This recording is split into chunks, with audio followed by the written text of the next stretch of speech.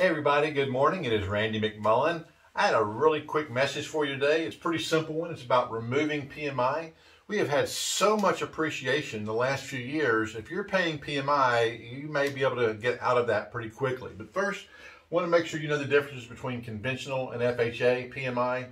Conventional PMI drops off automatically when your loan reaches 78% loan to value based on the original sales price.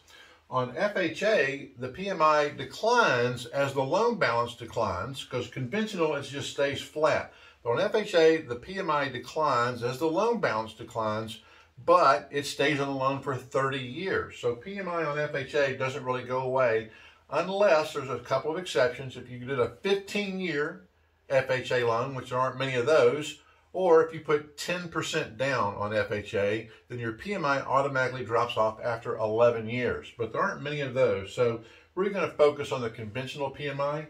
And really, it's a very simple process. You just need to get in touch with your servicer, let them know that your home value has gone up, and ask them if you can have PMI removed from your loan. It's that simple.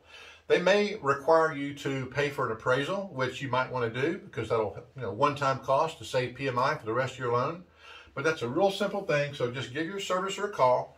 Let them know that your house has increased in value and that you'd like to have the PMI removed. I hope that helps. If you have any questions, always feel free to give me a call. This is Randy McMullin with Amstar Mortgage.